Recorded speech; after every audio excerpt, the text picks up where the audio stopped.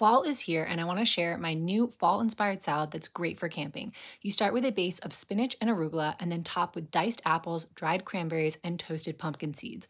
Drizzle it all with a homemade lemon tahini dressing. This makes a great vegetarian camping meal, or you can top it with some grilled chicken. Full recipe is on the blog.